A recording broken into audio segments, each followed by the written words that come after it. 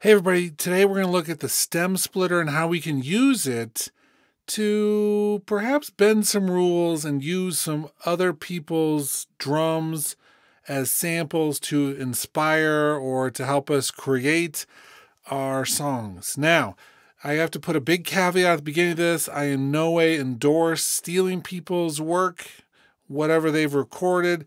And perhaps this is really an experiment in looking at things that it can inspire you as you create your own. But um, certainly there is a huge sampling culture out there of people who are using other people's tracks in their work.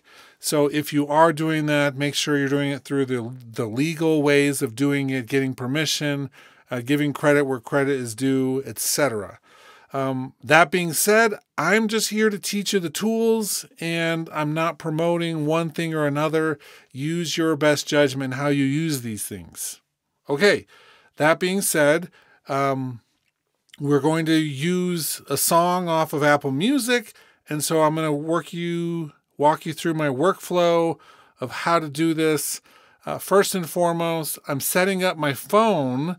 I have it plugged in via the charging cable in the audio MIDI setup, which is a utility you can get to inside your Launchpad under utilities. Um, I have this loaded up. I have my phone connected. It automatically shows up as an option. I just clicked enable to turn it on as an audio interface. Awesome. That means now in Logic, I can come through and set the input as my iPhone. And anything that plays on my iPhone, um, in terms of music or sound will then come as an input into Logic. Awesome. Um, so that's how I can just go through my library, pick a song. It can be my own music that's loaded on there, could be anything that's in Apple Music. Then, because I think tempo based options are really important, I'm going to come up to where my project tempo menu is at the top of the screen and set this to auto automatic mode. That means it's going to listen for a recording. Uh, when you record audio, it's going to record the audio and then and analyze it for the tempo and actually set the tempo to match it. Okay, now I'm going to play just a song. I'm not going to let you hear it because um, of copyright issues until we get it actually separated out into the drums. And so, what I'm going to do is start recording and then I'm going to push play on my phone and let the song come in.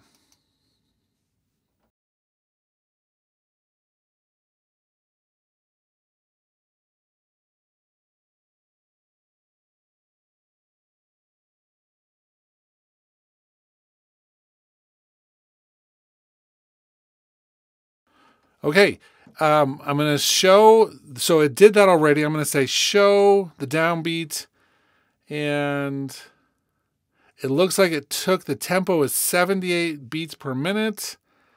I don't know if that's accurate or not. It looks, I think it feels accurate. Yeah, it looks like it's on the downbeats. I'm not even going to push play on this for the moment. Um, I am going to then just slice out a measure of this and with that selected, go to my functions and do a stem splitter. I'm not going to use the bass, the other, or the vocals. I'm just going to split out the drums. And there we have the drums. So now I'm going to mute this track, play the drums. Okay, so it's a part of the song that uh, that may or may not be as relevant, but I think it's going to be okay.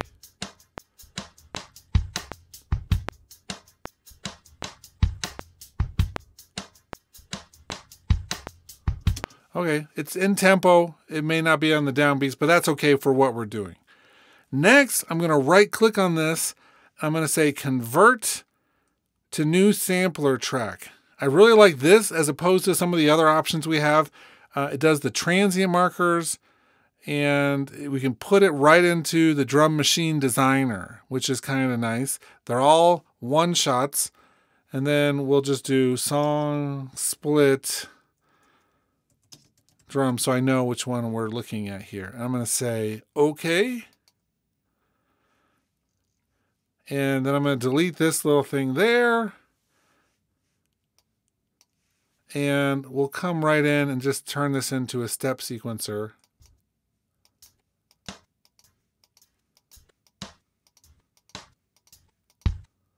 And I can clean these up if I want to, um, but right now I'm just going to leave them as they are. Let's see what else we have here. I'm using my keyboard now.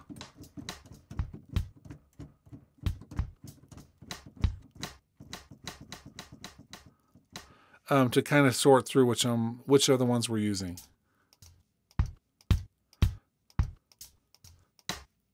Yeah, we'll do that one there. Okay, so we got a simple pattern. Maybe I'll throw some of these on as well. A little hi-hat thing. And I'm going to expand this one down and do a couple note repeats here and there, which doubles up how many hits are happening with each individual thing.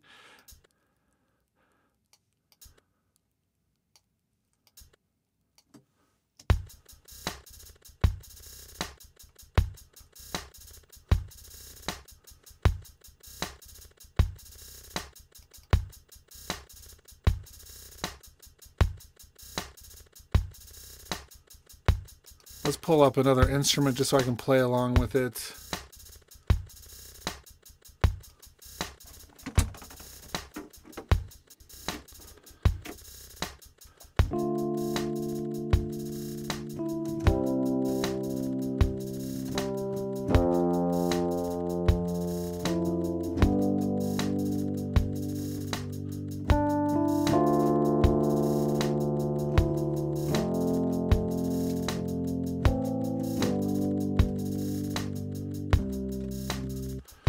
So inspiration abounds, right? I get to use some sounds that maybe I didn't have access to or sounds that are interesting that I'm, you know, listening to in other places, but sounds that I get to then mangle up and do some things with them.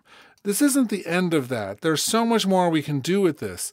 Now that these are inside the actual drum machine designer, uh, we can come through and do modulation on them. We can change the pitch. We can add a filter, including not just um, you know equalization type filters, band pass, low pass, high pass, but then we also have these ones that are called the creamy. Uh, we have amplitude overall level control. We have envelopes, and so we can come through and do all of that. On top of that, we also have all of the audio effects that we could ever want. And so perhaps doing something along the lines of um, like ChromaGlow to really warm this thing up could be interesting.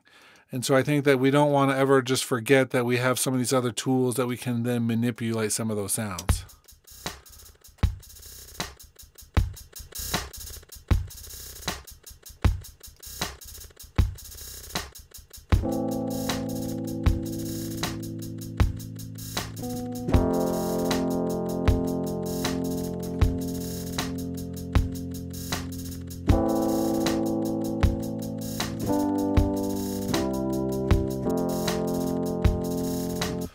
So I think that this is a really cool way to interact with other people's music, other people's ideas. Um, do be careful because if you are using something that is copyrighted and restricted with the rights, uh, you do have to give that credit or get permission. And so you want to make sure you're following all the rules. That being said, um, I guarantee in this one situation, that the song that that came from will never be identified afterwards from the sample that I'm using. It would be impossible because even though it shares the sound of it, it is such an unexpected change uh, that it just would never be linked to that. It's, it would be impossible. So that is what it is in this case. I hope this was useful seeing a workflow of how the stem splitter uh, might be used. Uh, but I, like I said, do be careful and do things according to the law of what is expected in the music industry.